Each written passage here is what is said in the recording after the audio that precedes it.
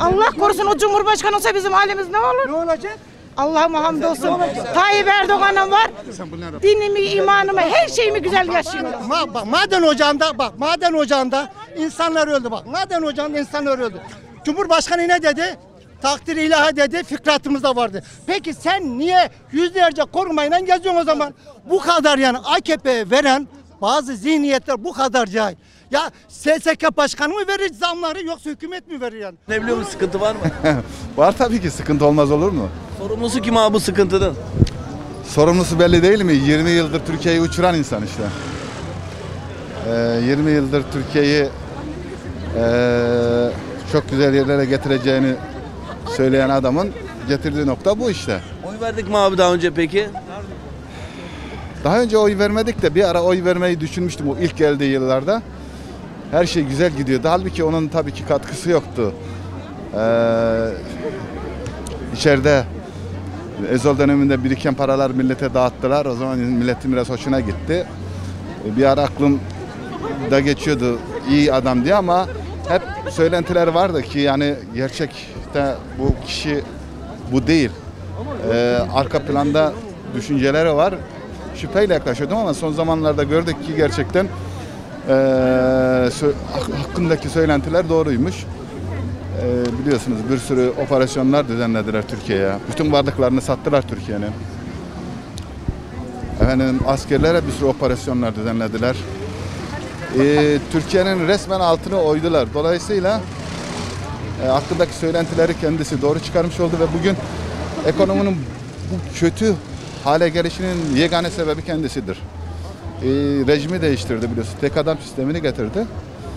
Bir tek adam sistemiyle tek başına karar vermeye başlayınca da e, böyle bir berbat sonuçta karşı karışa kalmak zorunda kaldık yani. Peki abi erken bir cumhurbaşkanı seçimi olsa oyunu kime verirsin?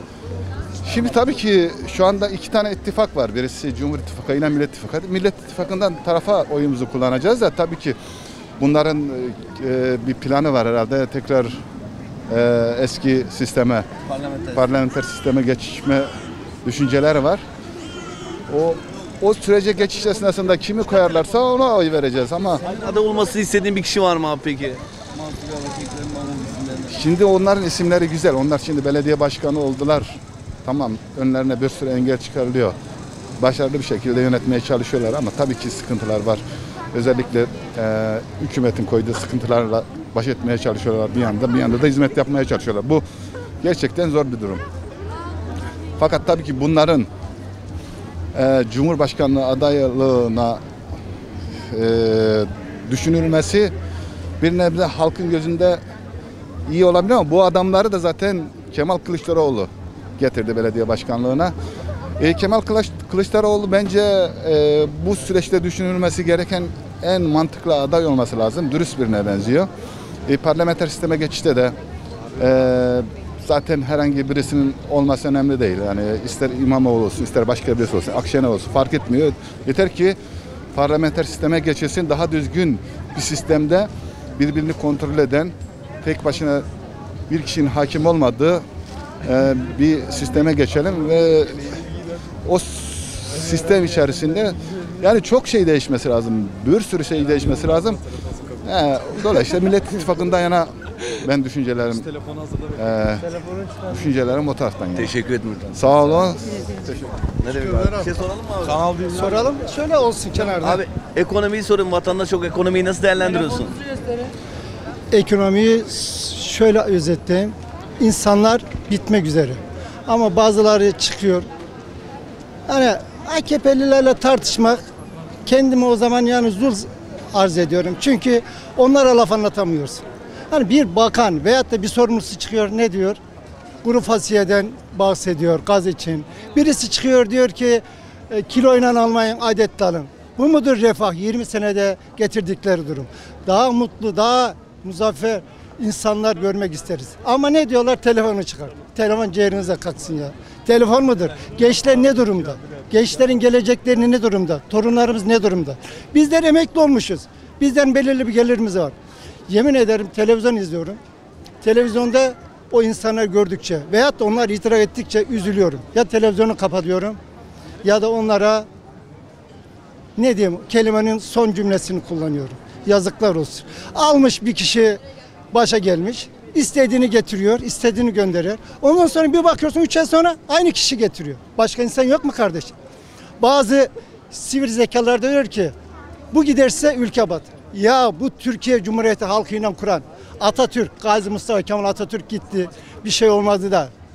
Bu dünkü bir tane yüzüğüyle gelen başa bugün trilyonlara hükmeden beşli, dünya beşten büyük ya Türkiye'de beşe mahkum.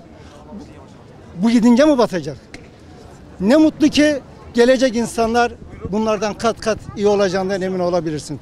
Bir cumhuriyet vatandaşı olarak, bir Gazi Mustafa Kemal Atatürk'ün bireyi olarak gelecekten ümitliyim. Gençler Z kuşağı diyorlar. Çok zekidir. Bundan sonraki gelecek gençler de zekidir. Ama bir iki tane veyahut da yüzde onu belki de fire ve- verebilir.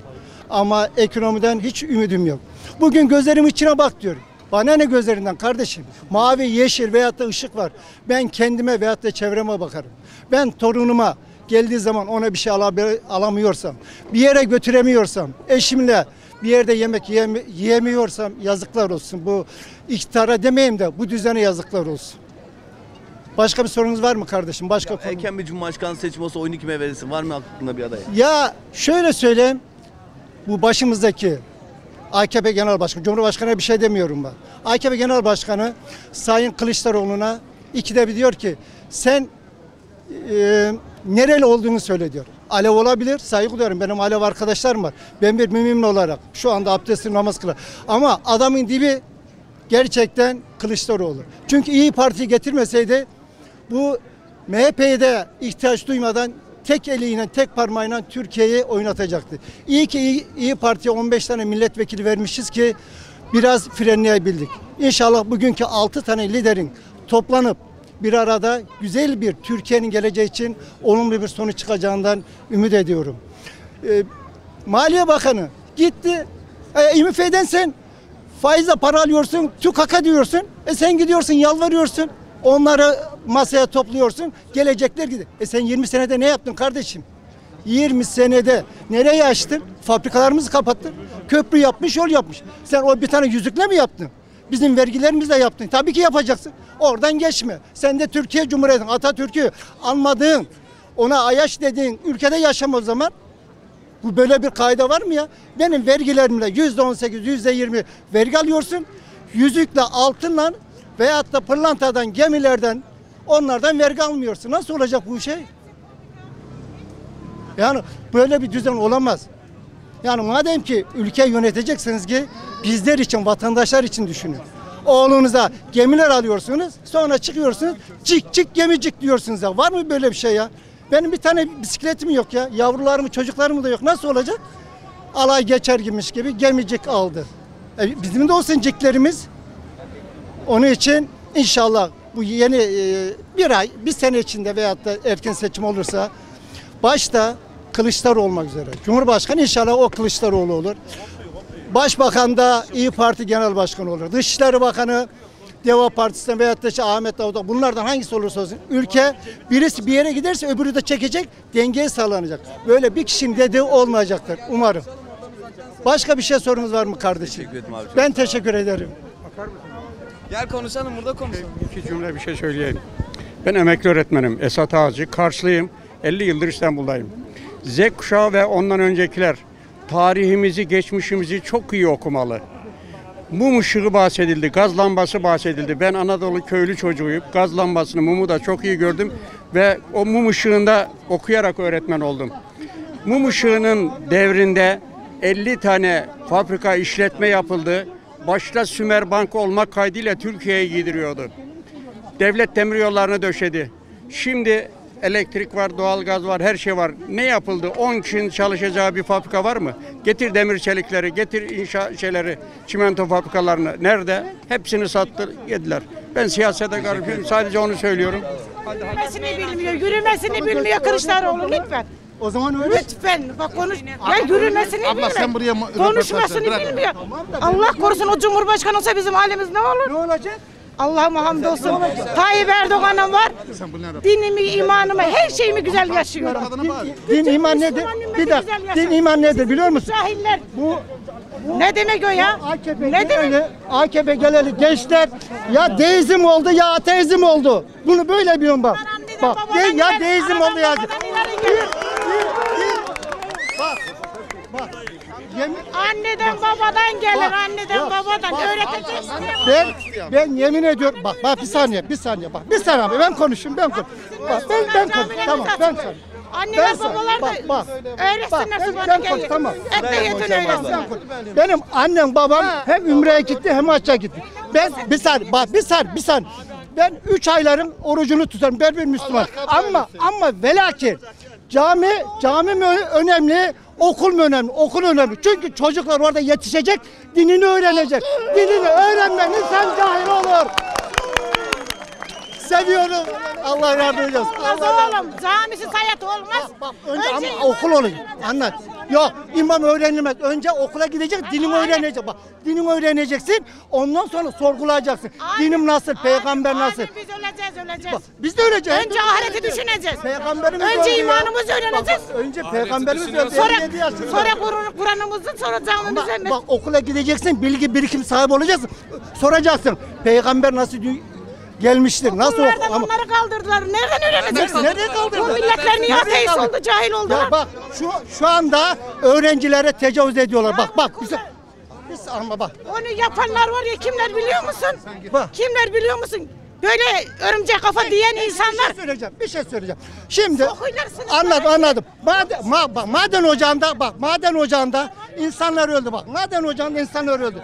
Cumhurbaşkanı ne dedi? Takdir ilahi dedi. Fıkratımızda vardı. Peki sen niye yüzlerce korumayla geziyorsun o zaman?